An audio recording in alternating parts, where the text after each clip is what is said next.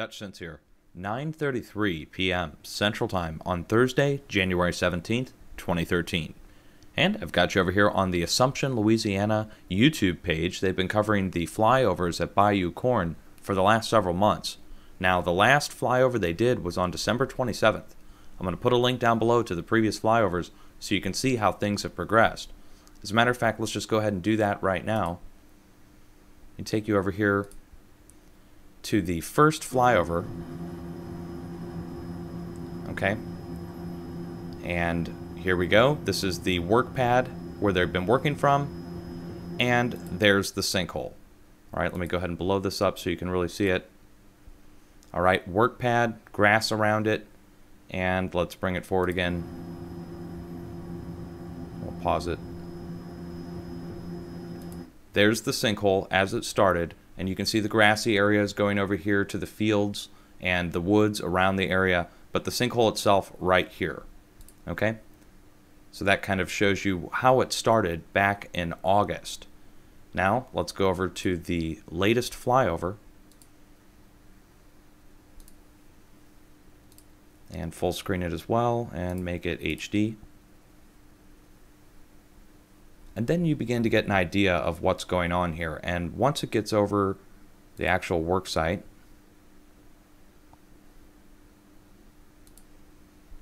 Okay, the original sinkhole was roughly about as big as the area that I'm moving my mouse around right now.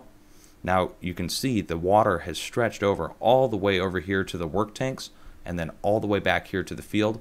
Even beyond the field, you can see the reflection of water now beginning to form over here in the next clearing and it extends all the way over here beyond this lake. You can see the edge of it over here. So we're looking at an area roughly a few miles across now. If you incorporate all these other areas that are definitely showing water buildup and sinking. So this pad here that they've been working from is sinking. For sure, 100%, the water is coming up right up to the edges of it now, and they've had to move back. Okay? So I hope this kind of sums it up for you guys. I'm going to put a link down below to the original video. All of our original concerns have been confirmed. So the area has spread, oil has come out, it's collapsed further, and there's more butane domes and other salt domes filled with other substances in the nearby vicinity.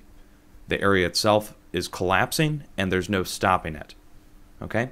So you can see again, the size of this is tremendous. And we'll just play this all the way through to the end now. It really has become a huge, huge problem and continues to grow. Now you can see the houses over here, all right? The sinkhole itself is spreading back here into the woods. You can't actually make out where it ends. I would say it ends somewhere back here uh, by the second row of trees if you can see the clearing.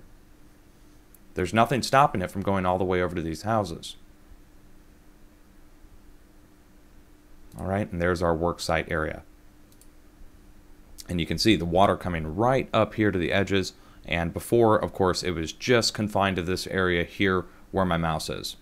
Now there's been a lot of rain recently, which explains the muddy texture to the water and the lack of a sheen because, of course, the oil has been washed away and let me bring back here to the start of the frame here.